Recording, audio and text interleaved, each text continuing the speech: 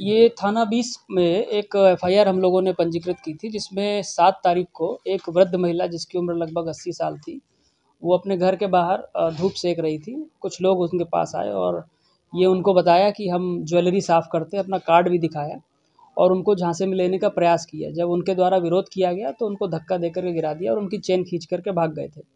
इसमें हमने अभियोग पंजीकृत किया और टीमें गठित की। कुछ सीसीटीवी फुटेज हमारे हाथ लगे थे।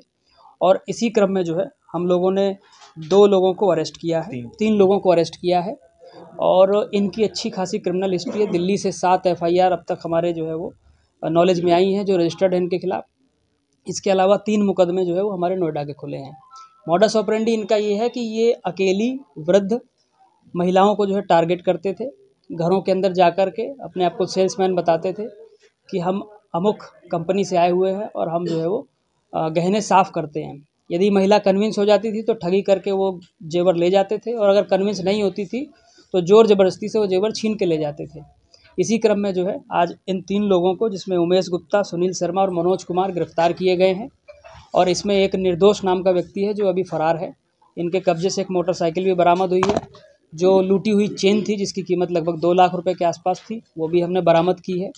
और इनको जो है माननीय न्यायालय के समक्ष आज प्रस्तुत किया सात घटनाएँ जो है इनकी दिल्ली की हैं जो हमें नॉलेज में आई हैं। तीन हमारे यहाँ की है। दस से ज़्यादा की घटनाएँ जो है अभी तक हमारे संज्ञान में आ चुकी हैं। बाकी और क्रिमिनल हिस्ट्री देखी जा रही है।